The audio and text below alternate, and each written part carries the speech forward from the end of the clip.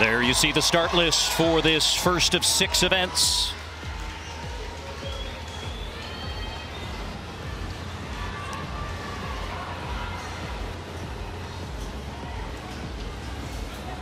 Camacho Quinn in five. Russell, the Olympic champion, in six. Icahn Stadium record holder Alaysha Johnson in four.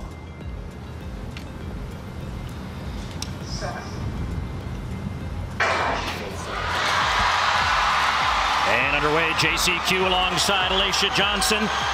Now JCQ and Alicia Johnson. And a late charge by Russell, but JCQ takes the victory here in the opening event at Athlos. 1236.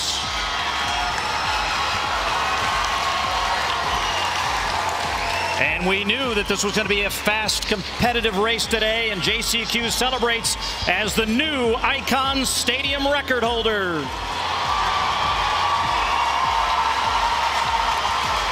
My goodness, I just can't imagine what it's like for these women. The atmosphere has been absolutely incredible, and they're just taking it all in.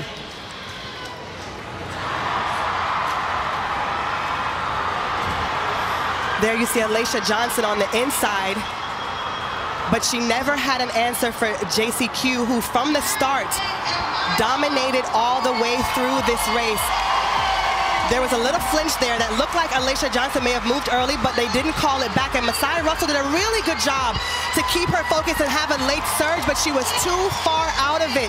And Jasmine Camacho Quinn, who has done this time and time again, Olympic champion, Olympic bronze medalist, was able to keep her cool and execute her race all the way through the finish line. It was a phenomenal race for Jasmine Camacho Quinn. But watch Masai Russell, the Olympic champion, who was way off the pace, Paul, midway through this race. And I think that that was because of the movement, movement at the start. I thought that there may have been a false start, but it wasn't. And Masai did a good job of getting back in the mix.